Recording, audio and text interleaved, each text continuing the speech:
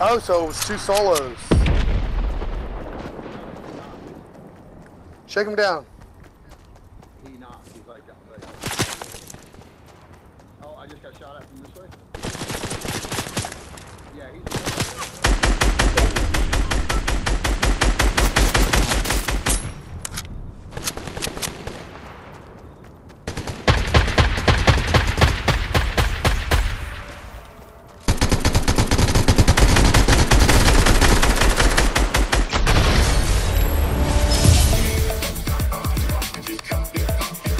That's why I hate the freaking combat ARs.